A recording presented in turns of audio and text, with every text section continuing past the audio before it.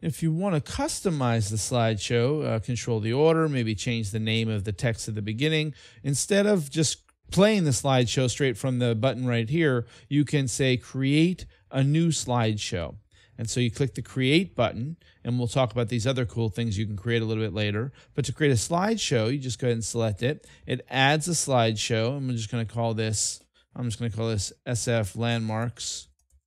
Give it my own custom name. And you see that changes the name of the text in the uh, in the actual slideshow. Here we can walk through the slides and see which specific slides are going to be viewable and scroll through there. Seems like there's a little redundancy here, so we can actually just delete, just clicking on those and pressing delete, and that's going to hide it from the slideshow. It's not going to delete it from the album, uh, it's just going to delete it from the slideshow. We can rearrange the order by just dragging and dropping these.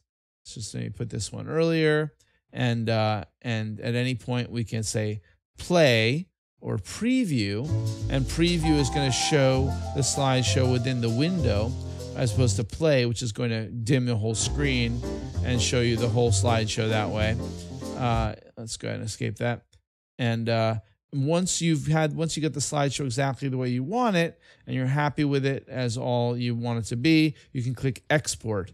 And then this will allow you to actually export a movie.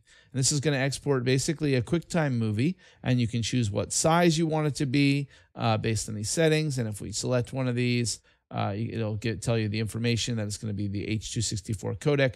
Uh, a bunch of stuff you probably don't need to worry about too much. Or you, if you're really concerned, you can do a custom export and go in here and make your own settings for however you want to save the quality of the movie. Uh, if you want to change the text at the beginning, just select the text slide here, and then you can go in here and change the name.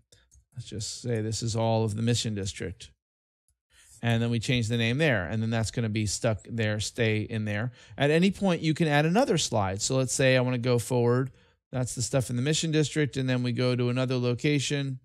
Um, well let's just go ahead here and add a, a text slide here in between these two pictures. Right here i'm going to say add a new text slide. And i'm just going to say name dolores park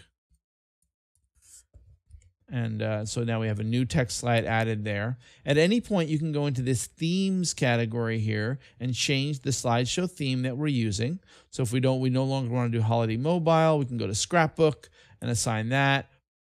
Same thing with the music. We can choose a different song. Uh, you can choose any of these theme musics or from your own iTunes library. Any um, any music file in your iTunes library will show up here, and you can choose that from there and assign that particular music to your slideshow. And then you can go into the settings again, as we looked at earlier, and say, how long do you want to play the slides? So, all of these things that you can do to customize your slideshow in preparation for either just playing it on your own computer or exporting it into a movie that you can then share with your friends.